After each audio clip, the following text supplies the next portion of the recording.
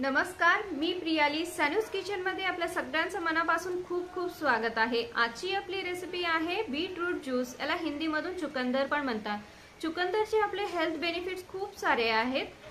हिमोग्लोबिनची कमतरता असेल त्यांच्यासाठी ही रेसिपी खरंच खूपच युजफुल आहे. सात ते पंधरा दिवस नियमितपणे जर तुम्ही या ज्यूसला घेत असाल तर तुम्हाला नक्की फायदा होईल.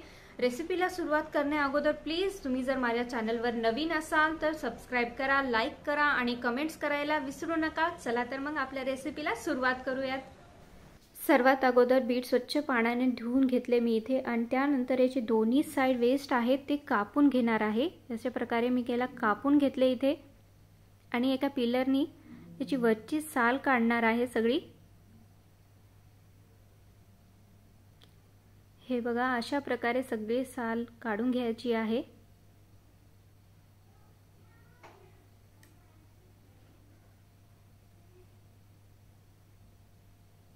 साल काढून झालेली आहे. आता आपण याचे तुकडे करून घेणार आहोत. अगोदर मी मोठे तुकडे करणार आहे. त्यानंतर याचे बारीक बारीक तुकडे करणार आहे. प्लीज या व्हिडिओला पूर्ण पहा तरच तुम्हाला याची पूर्ण प्रोसिजर माहिती होईल. तुकडे जेवढे बारीक असतील ना ज्यूस पण तितकाच लवकर निघेल. जर तुकडे मोठे असतील तर वेळ लागणारच. म्हणून मी इथे बारीक बारीक तुकडे करून घेणार आहे. थोडा वेळ लागणारच. चला अशा प्रकारे माझे बिटाचे काप तयार आहेत.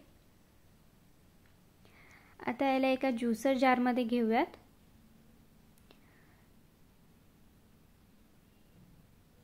ज्युसर जारमध्ये तुकड्यांना टाकून घ्यायचा. त्यानंतर मी यामध्ये गूळ ॲड करणार आहे. गूळ इथं खूपच कमी वापर केलेला आहे गुळाचा. मुलांसाठी बनवत आहेत. मुलं पण खूपच आवडीनं या ज्यूसला नक्की पितीलच. तर यामध्ये दीड ग्लास पाणी टाकून आपण याचं ज्यूस करून घेणार आहोत. तुम्ही इथं पाहू शकता माझं ज्यूस बनून तयार आहे. दीड ते दोन ग्लास पाणी तुझा वापर करू शकता तुम्ही इथे. आता एका चाळणीने मी या ज्यूसला चाळून घेणार आहे. अशाच प्रकारे तुम्ही पण नक्की ट्राय करा. खरंच खूप आणि हेल्दी रेसिपी आहे. चला तर मग भेटूया नेक्स्ट व्हिडिओमध्ये. पण जाता जाता माझ्या वे माझ्या चॅनलला सबस्क्राईब करा लाईक करा कमेंट्स करा. चला तर मग भेटूया अशाच नवीन नवीन रेसिपीसोबत तोपर्यंत एन्जॉय करा. Thank you for watching my video.